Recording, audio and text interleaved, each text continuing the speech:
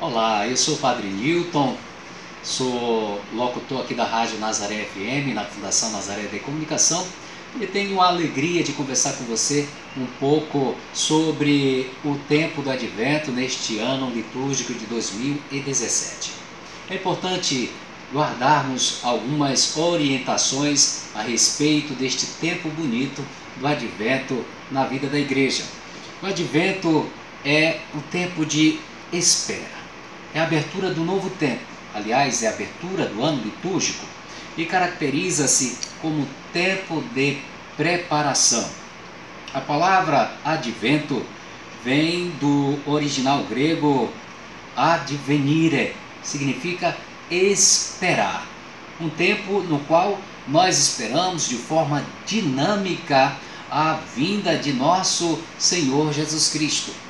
Aliás, aguardamos de forma dinâmica, constante, nas quatro semanas celebradas do Advento, a chegada do Deus, o Emanuel, Deus conosco. E ainda aproveitamos na espiritualidade deste tempo para darmos passos à chegada definitiva de nosso Senhor Jesus Cristo. Nós celebramos no tempo do Advento duas grandes vindas.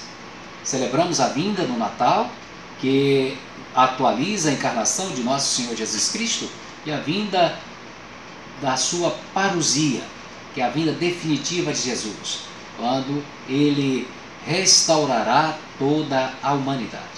Assim sendo, o advento é este tempo belíssimo de reflexão, de organização, de arrumação da nossa casa interior para o acolhimento do nosso Deus, o menino Jesus.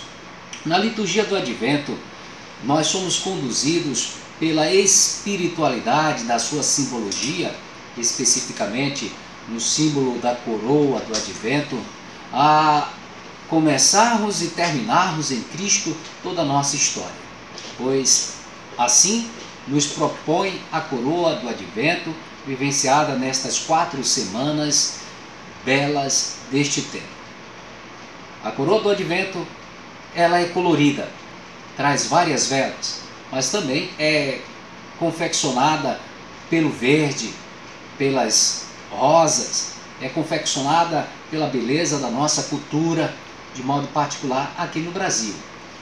Sendo que a terceira semana ela usa o rosa, dado que é a semana da alegria, chamada de Gaudete, Semana Gaudete. Alegria pela proximidade da chegada do Senhor.